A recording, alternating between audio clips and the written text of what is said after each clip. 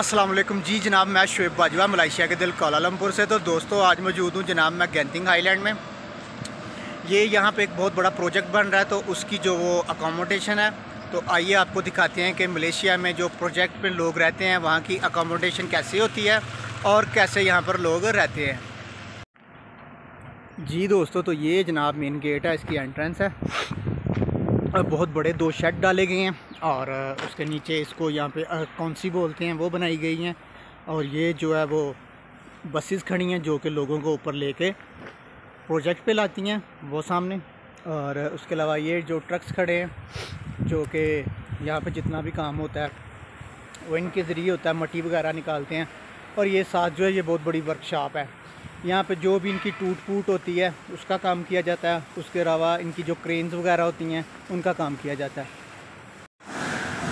जी, यहाँ पे इसी तरह बड़े बड़े शेड्स डाले जाते हैं, क्योंकि यहाँ पे आंधी तूफ़ान आती नहीं है। अब तो पाकिस्तान में भी काफ़ी रुझान चल पड़ा इस तरह के बड़े बड़े शेड डालने का। तो यहाँ पे ये देखें जो भी इनकी मुरम्मत का काम है, वो होता है वेल्डिंग वगैरह और फिर जो जो भी इन्होंने नया सामान बनाना होता है, ये देखें जो शीट्स हैं, लोहे की, वो बड़ी बड़ी पड़ी हुई हैं और इसी तरह जो भी इनका फिर मुरम्मत का काम होता है, वो इस वर्कशॉप में होता है। जी तो ये है जी अकोमोडेशन जहाँ पे इसको मलेशिया में कौन सी बोलते हैं, और जो, ये जो बड़े प्रोजेक्ट्स होती हैं, सिर्फ़ वहाँ पे इस तर्ज की बनाई जाती हैं जो तकरीबन आठ से दस साल चलना हो। वरना आम लकड़ी की बनाई जाती हैं, उसमें बहुत बुरी हालत होती है, ठीक है, और बड़ी गंदगी भी होती है।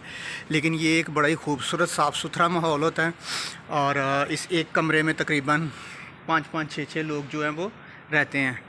तो लोगों ने अपने कपड़े डाले हुए हैं इसी तरह गलियाँ बनी हुई हैं। मैं आपको कमरा चेक कराता हूँ। ये कुछ खाली हैं अभी। तो ये देखें काफ़ी बड़ा कमरा होता है। तो इसमें पाँच से छः लोग जो हैं वो आसानी से रह सकते हैं। आ, ये देखें जी डबल स्टोरी है। एक फ्लोर नीचे है एक ऊपर है। तमाम लोहे का काम हुआ हुआ है। जी तो जो लोग मलेशिया में आके काम करना चाहते हैं, वो चेक कर लें कि जी, इस तरह की यहाँ पे रिहाइशें होती हैं, लेकिन ये जो रिहाइशें मैं आपको दिखा रहा हूँ, ये बहुत ही ज़बरदस्त और साफ़ सुथरी हैं। इससे भी बुरी हालत होती है और हमारे जो पाकिस्तानी हैं, वो नहीं रहते वहाँ पे। वो लकड़ी की बनी होती हैं और बहुत गंदगी होती है। तो ये इस तरह के जो बड़े प्रोजेक्ट्स हो गए, जौहर में पेट्रोनास वगैरह तो वहाँ पर सिर्फ़ इस तरह की जो है वो अकोमोडेशन दी जाती है। तो मज़ीद मैं आपको फिर दिखाता हूँ। ये देखें जी कपड़े ही कपड़े आपको नज़र आएँगे चारों तरफ़ ठीक है? और यहाँ पे खाना बनाने की इजाज़त नहीं है आप कंटीन से ही आपने खाना है ठीक है? तीन टाइम ही सफ़ेद चावल रोटी क्योंकि ये बनाते नहीं हैं लोग तो इस वजह से। जी तो ये जनाब आपको अंदर से रूम दिखाते हैं ये देखें जी। बंधु भाई आटा ब्रोपा और नहीं है? अम्पा और तो ये भाई बोल रहे हैं कि ओती का और आटा ब्यासा ब्रपा और डूडो अम्पावरंग तो भाई बोल रहे हैं कि जनाब यहाँ पे चार आदमी हैं जो रहते हैं, अभी ये तीन रह रहे हैं, ये तीन देखें आप लगे हुए हैं बिस्तर। तो इस तरह की ये अंदर से होती है, साफ़ सुथरी है। जी तो इसी तरह का ये देखें, यहाँ पे तकरीबन समझ लें कि आप, हज़ार से ऊपर आदमी जो है वो आराम से रह सकता है, जितनी ये बड़ी जगह है यहाँ पे और अभी भी काफ़ी ज़्यादा खाली, क्योंकि गैंतिंग में बहुत ज़्यादा ठंड होती है, जो दोस्त मलेशिया में रहते हैं, उनको पता है। तो ज़्यादा बंदे इधर टिकते नहीं हैं, भाग जाते हैं। दूसरा जो खाना है, वो कैंटीन से होता है तो इसलिए फिर लोगों को मसला होता है। ये बहुत वसी और इस जगह है, जहाँ पे इन्होंने ये एक सेटअप बनाया हुआ है। और ये कम से कम दस साल का प्रोजेक्ट है। जिसमें पैंसठ मंजिल और बहत्तर मंजिल के जो हैं, वो चार ब्लॉक हैं। तो ये जनाब माशाल्लाह एक छोटी सी मस्जिद बनाई गई है लकड़ी की। तो यहाँ पे आके लोग जो है वो नमाज़ अदा करते हैं। आपको अंदर से चेक करवाता हूँ मैं मस्जिद। तो ये है जी मस्जिद। ये देखिए हाँ भाई नमाज़ पढ़ रहे हैं। तो यहाँ पे मस्जिद इस, कुछ इस तरह की बनाई गई है। जी तो ये जनाब नहाने की जगह इस तरह सभी लोग जो है वो नहाते हैं ठीक है। औरतें भी इसी तरह यहाँ पे नहाती हैं। कपड़ा सा लपेटा होता है उन्होंने। इसके अलावा ये वाशरूम है। वाशरूम बड़े साफ़ सुथरे हैं यार। तो इसको अभी इन्होंने ख़त्म कर देना दूसरी नई जो छत हमने बनाई है, बहुत बड़ी है, वो मैं आपको दिखाता हूँ। जी दोस्तों तो ये जनाब दो मंजिल है। ऊपर से कुछ ऐसा है। ये देखिए। तांगा लगा हुआ है, ये भी लोहे का। यहाँ पे सीढ़ी को तांगा बोलते हैं। और ये अगर ऊपर इसके छत ना भी हो तो ये इन्होंने जो है ना इसको मतलब कि धूप से बचाने के लिए इसके अंदर फोम डलता है और जो ये कौन सी है, ये ठंडी रहती है। जी दोस्तों तो ये है जनाब कंटीन और यहाँ पे आके लोग खाना खाते हैं। काफ़ी बड़ी कंटीन है। खाने पीने का तमाम सामान पड़ा हुआ है। देखिए, अभी बन रहा शाम को फिर बन के तैयार होगा। तो यहाँ पे जनाब लोग आके बैठते हैं, खाना खाते हैं। ये एलसीडी भी लगी जी तो ये पानी की मशीन लगी हुई है। साथ ये कपड़े धोने के लिए जो ऑटोमेटिक मशीनें होती हैं। तो ये देखें चिट पे उस बंदे का नाम लिख देते हैं।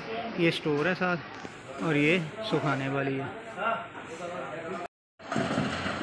जी दोस्तों तो जनाब, असली जो प्रोजेक्ट है वो ये है। ये क्रेन जो लगी हुई हैं, और ये नीचे इनकी जो है वो रिहाइशें हैं।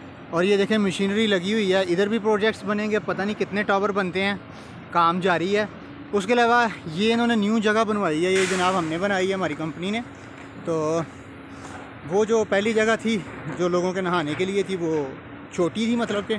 तो इस वजह से फिर उन्होंने ये बनवाई है। ये देखें, यहाँ पे ये तकरीबन चार और चार, आठ आठ जो मतलब के नहाने के क्या उसको होदी बोलते हैं पंजाबी में।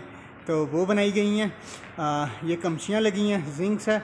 जिंक की लगती है इधर, ज़्यादातर काम जिंक का होता है क्योंकि इधर मतलब कि धूप नहीं रहती, बादल वगैरह सारा दिन हुए रहते हैं और इसके अलावा बारिश भी होती रहती है। तो इस वजह से जो है, यहाँ पे इसे यूज़ किया जाता है। तो ये अभी कुछ ही दिन हुए हैं, हमारा ये जो काम मुकम्मल हुआ है। जी दोस्तों तो ये जो तमाम आप जगह देख रहे हैं, यहाँ से नीचे से पत्थर निकल आया था। अमूमन मलेशिया में जो है वो मिट्टी के पहाड़ होते हैं। तो फिर इन्होंने ये तमाम जो है धमाका खेज़ मवाद लगा के इस जगह को जो है वो नरम किया और फिर बाद में जो ये जो ट्रक्स आप देख रहे हैं, ये इस पत्थर को, मिट्टी को लेके वो ऊपर पहाड़ी पे लेके जाते हैं।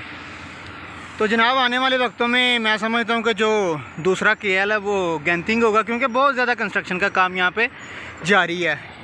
तो बड़ी खूबसूरत जगह है, मौसम बड़ा ज़बरदस्त होता है ठंडा मौसम होता है, कोई गर्मी वगैरह नहीं होती। तो अब यहाँ पे जो है, पहले इतनी ज़्यादा ट्रैफ़िक नहीं थी होती, लेकिन अब बहुत ज़्यादा हो गई है। उसकी वजह ये है कि लोगों का रुझान ज़्यादा हो गया, क्योंकि जो लोग कोलम जो मलेशियन हैं, वो ट्रैफ़िक की वजह से बहुत ज़्यादा तंग होते हैं। जो दोस्त मलेशिया में रहते हैं, उनको तो पता ही होगा। तो इस वजह से जनाब जो लोगों की दूसरी चॉइस होगी, वो मेरे ख्याल में जो काजंग, नलाई या पुत्राजाय वगैरह में रहते हैं, वो इधर रहेंगे आने वाले वक्तों में। जी तो ये जो है, ये प्रोजेक्ट्स की जो गैलरी है, वो तैयार हो रही है। इसका अभी काफ़ी सारा काम रहता है, अंदर से भी। और बड़ी खूबसूरत किस्म की बना रहे हैं। और बाद में जो भी बुकिंग वगैरह होगी, वो सब यहीं से होगी। तमाम लोग यहाँ से ही आके इसका जो है, वो सैंपल करेंगे। तो ये जी प्रोजेक्ट्स है, क्रेनें नज़र आ रही हैं। तो अभी इसका थोड़ा काम रहता है। तकरीबन काफ़ी सारा काम मुकम्मल हो गया। जी दोस्तों तो ये है जनाब मेन रोड ठीक है? और ये इस गैलरी का जो है फ्रंट है।